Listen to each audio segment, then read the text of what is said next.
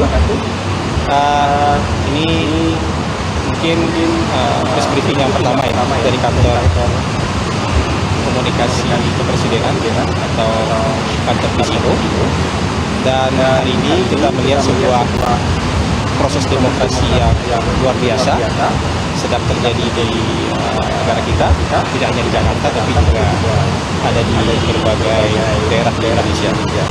Uh, kita melihat, ada mungkin hampir semua stakeholder terlibat sekarang ya dalam memainkan peran mereka sebagai uh, memainkan peran mereka dalam demokrasi gitu. Jadi kita melihat bahwa MA dan MK sudah menjalankan peran mereka dalam sisi yudikatif ya.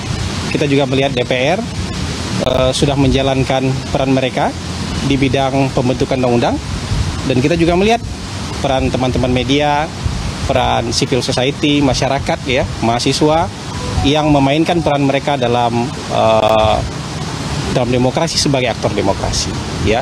Jadi kita melihat ini sebagai sesuatu yang luar biasa.